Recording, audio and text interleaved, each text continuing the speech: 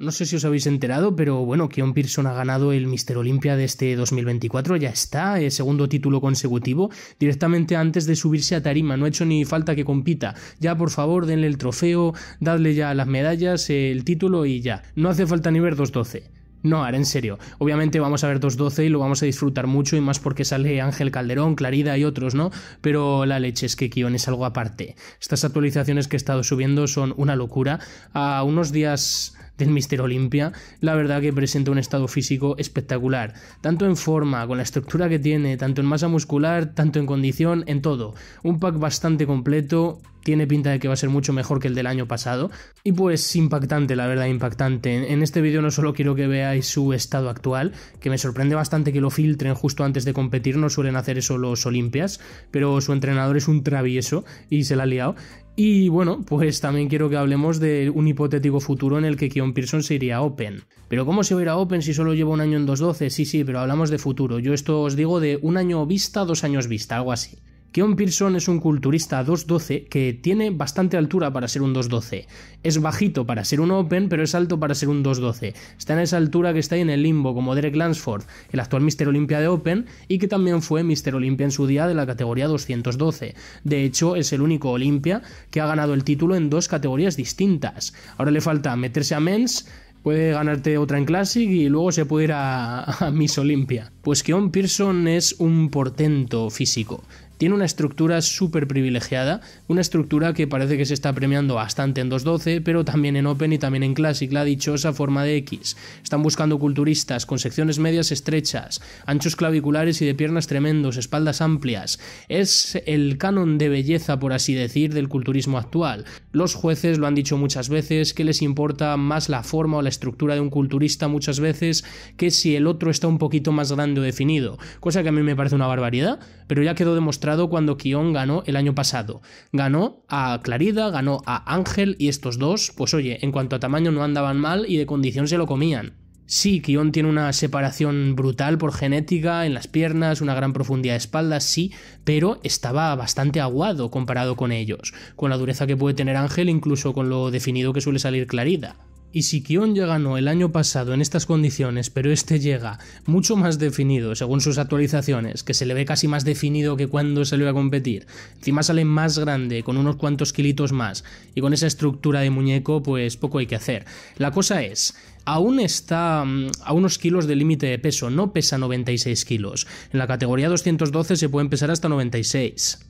Lo que os quiero decir es que el maldito Kion ganó el año pasado varios kilos por debajo del límite y este año va a salir a competir incluso unos kilos por debajo, tampoco una barbaridad, un par de kilos, pero todavía tendría bastante margen de mejora para seguir añadiendo kilos de músculo, incluso salir de mayor calidad, por lo que si se seca aún más tendría hasta un poco más de margen para meter más kilos.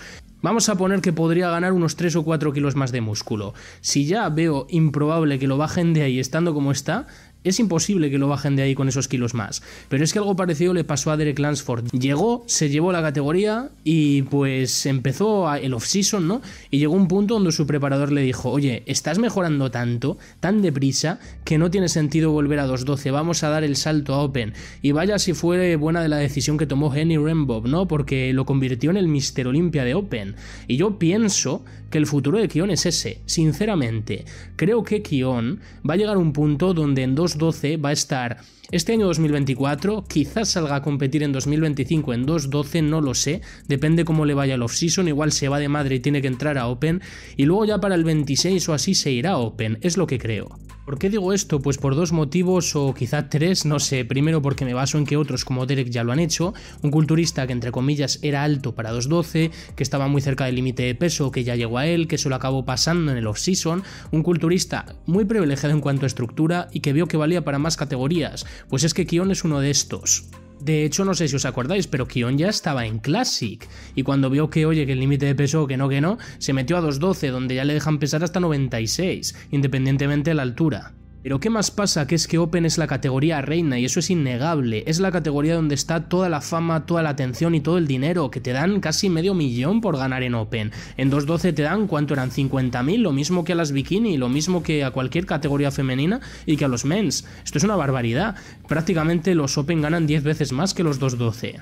Mira, igual a algunos os suena Flex Lewis, ganador de 7 Mister Olimpias en la categoría 212, pero probablemente a muchos no os suene, pero si os suena Phil Heath, ganador de 7 Mister Olimpias, ¿verdad?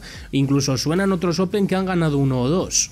Si Keon Pearson se encuentra en un escenario donde vea que ya le cuesta estar en 2.12 o que tiene el potencial para estar en Open y posicionar dentro de un top 5, ya no digo ganar un Olimpia, pienso que tarde o temprano va a acabar dando el salto de categoría y va a ser un movimiento probablemente inteligente, porque es un culturista con una genética privilegiada, una estructura privilegiada al que no le cuesta ganar músculo y que tiene mucho margen de mejora, al igual que Derek en su día, pues ahora está así Keon y honestamente, aunque no sea muy alto, aunque sea bajito, ¿vale?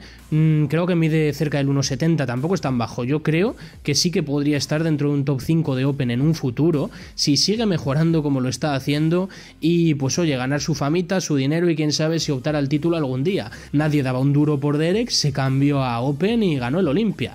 O sea que todo es posible, vamos.